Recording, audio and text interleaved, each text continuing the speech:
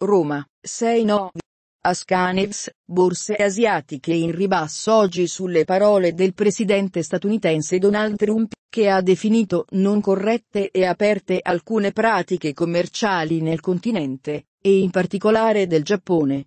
Sulla giornata incide anche l'allarma lanciato dal governatore della banca centrale cinese, Zhou Xiaoquan, che ha definito complessi, poco chiari e pericolosi i rischi per il suo paese derivanti da un massiccio uso della leva finanziaria.